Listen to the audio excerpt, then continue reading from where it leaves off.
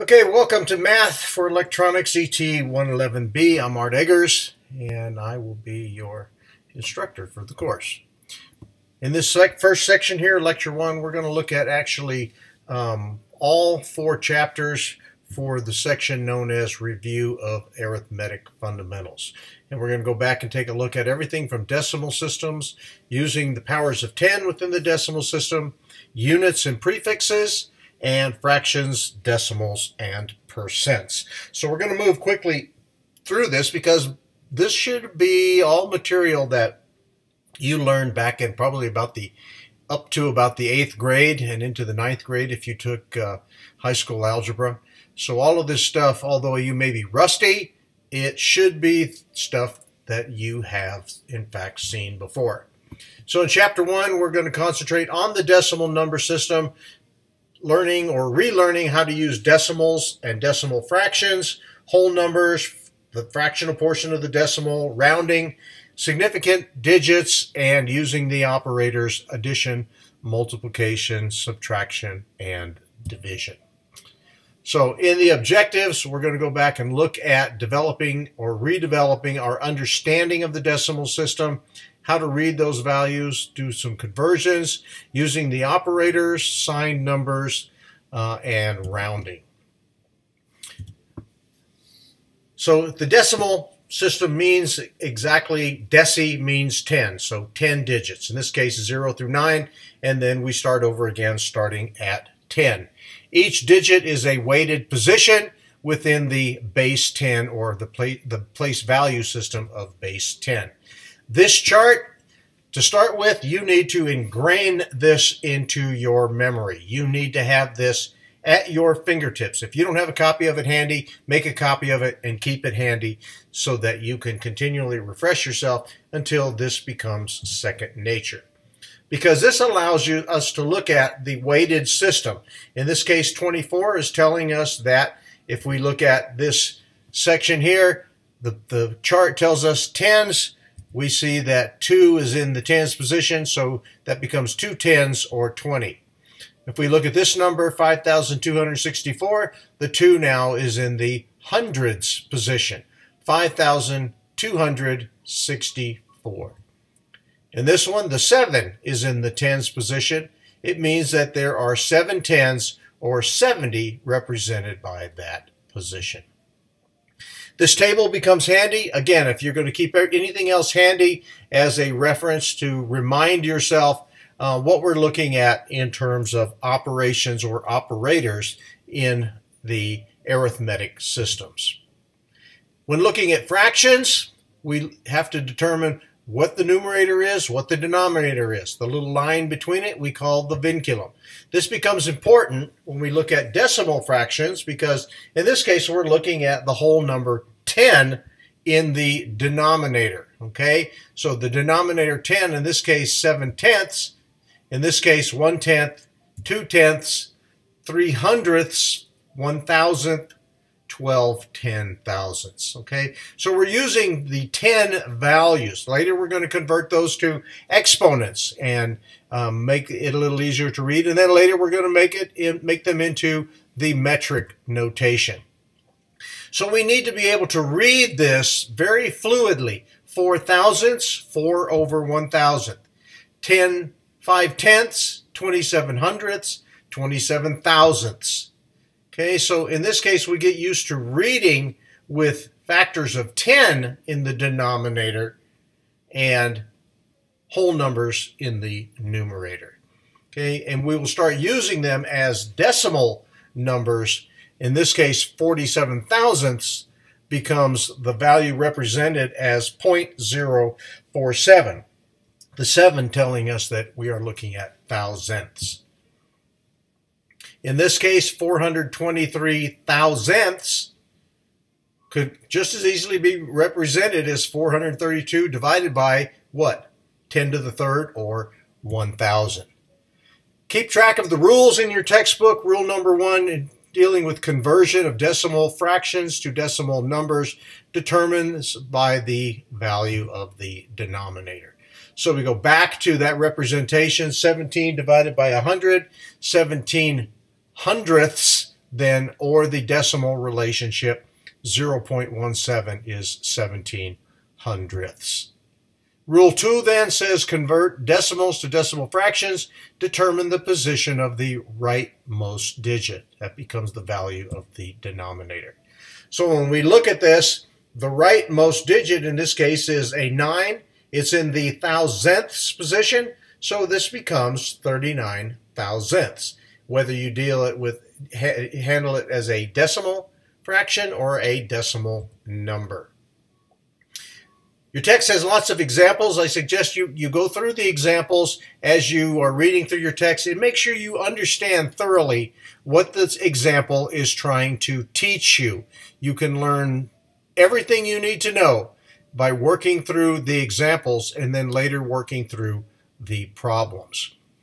Key points show up. In this case, the first one says mixed numbers are numbers that are made up of a whole number part and a fraction. We use the and to determine where the decimal point is. So 13 and 36 hundredths, then we use the whole number part fractional value fraction itself, and we can see it becomes 13 and 36 hundredths. Okay, again, the chart. The chart is something that we need to be used to and very familiar with. Whole numbers and fractions, then, work through these examples. Make sure you see how we convert from the fractional portion to a fractional representation. In rounding, the rules are generally anything a number greater than 5, we round up. Anything less than 4, 4 or less, we round down. So in these examples, if we want to round to the nearest tenth, we have a 5, so that's telling us round up. The nearest hundredth, we have a 3, that means round down. The nearest 1000th, we have a 7, round up. Okay, these apply both for fractions and whole numbers. Okay, an example here, to the nearest 100th, to the nearest 100th, then this becomes 1274 to the nearest 100th to the nearest tenth. 3 is next to the tenth, so that becomes a round down. To the nearest 1, 7 is next to the 1, so we round up to the next value. And the same thing with the tens digit. In rounding whole numbers, remember that in rounding whole numbers, the 0 is a placeholder, but it cannot be dropped. If a 0 exists in the rightmost position, as a result of rounding, the zero is dropped because it's not accurate. The last section here that we'll talk about is significant digits. Key point, significant digits or significant figures, you can use them interchangeably, are the digits in a number not counting leading zeros that are known to be accurate. So the term significant digits is used in conjunction with the process of rounding with significant notation. So here we can see the example 0.04. 4 is the one significant digit in this representation. The 0 to the left of the decimal point um, tells us there's no whole number part. The second 0 is important because it states there are no tenths. So neither of the zeros are considered significant digits. In looking, though, at trailing zeros, the rightmost zeros are considered significant digits when to the right of the decimal point because their presence indicates a known accuracy. So you have to be mindful and aware of these digits when you're dealing with trailing zeros. So in this case, 52 with the two trailing zeros makes all four of those significant digits. I know it can get confusing, but it's something you just have to remind yourself of. Go back to the rules if you get confused. 5,000 here, though, has four significant digits, but it may be ambiguous if it was rounded up to the nearest thousands. This could have been 4,735, but it was rounded up to 5,000 and has four significant digits. So if we look at moving the decimal, point as we do in this example, you can see that four significant digits remain the figures that are important in maintaining the accuracy of this number. Okay, getting used to what is the most significant and the least significant digit, MSDs and LSDs, usually it's pretty simple. The first one to the left is the most, the smallest one to the right is the least significant digit. So we can take this number, 79,630, and identify each of its weighted positions and determine from this what is the most and what is the least significant. This is stuff that just you just have to be aware of because when you are doing calculations, these are things that become important. Okay, so for maintaining accuracy. So the next section, addition and subtraction of signed numbers, we'll stop here. Okay, so continuing then um, using uh, signed numbers, addition and subtraction um, in chapter 1. Um, this representation of the number line is a good way to get used to understanding um, positive and negative numbers. We use this representation um, a lot. When we teach the uh, when I teach the physics class, this becomes very, very important um, in understanding things like displacement. Everything to the left is negative, everything to the right is positive, and you move along that number line accordingly. Um, the absolute value, very important, especially when you're dealing with values that you cannot have a negative number represented. You use, like you see here with the 5, with the two bars on either side of it, it tells you that regardless of the sign, your answer is going to be a positive number. Rule 1-4, addition of values to add numbers with like signs, add the numbers, affix the sign to the answer.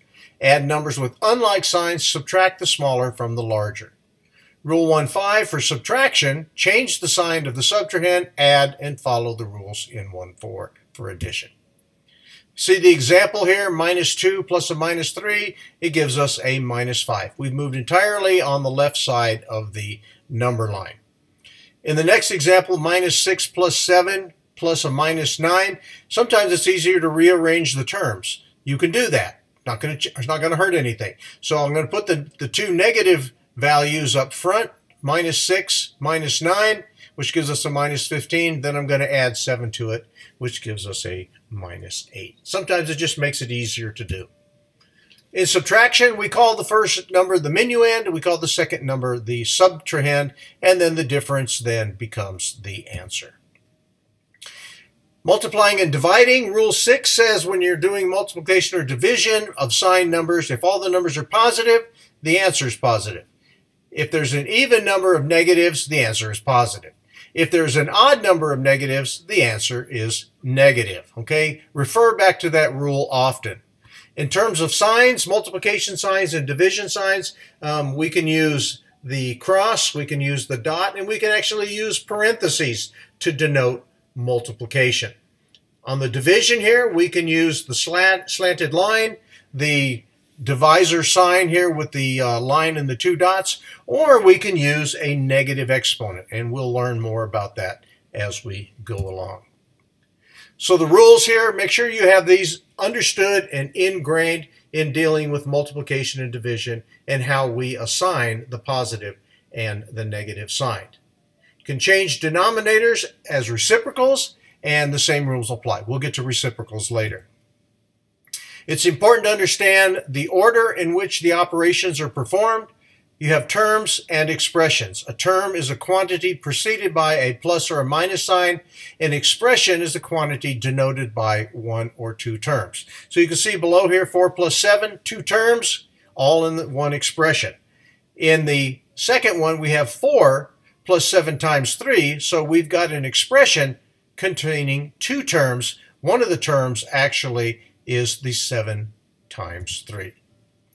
Rule 1.7 says, unless otherwise directed by other mathematical operators, such as a parenthesis, a mathematical expression can be simplified by performing math, the math, multiplication and the division first, then do the subtraction. So if you look at the first example, you'll notice 6 times 7 plus 4 times 2. We've got two multiplications there. Do them first, and then add the two uh, products together. 42 is the product of 6 times 7. 8 is the product of 4 times 2. So you can see the same with the other two examples. In looking at parentheses, again, parentheses denote math, um, multiplication. Parentheses are kind of used as a direction or an order. Parentheses are mathematical symbols that can be used as a mathematical expression to direct the order or the sequence of performing calculations. So in this case, 3 times, in parentheses, 4 minus 5. 4 minus 5 is done first, although we've got a multiplication here. We could multiply 3 times 4 and 3 times 5, and we'd get, what, 12 minus 15, and come up with the same answer. But in this case, we can do what's inside of the parentheses first, simplify it to minus 1, multiply it times 3, and we get a minus 3. In complex technical problems, we often have terms within terms. In, programming, we call this nesting. So we've got nested here a 5 plus 3 in parents nested inside of the 3 plus 9 times that value.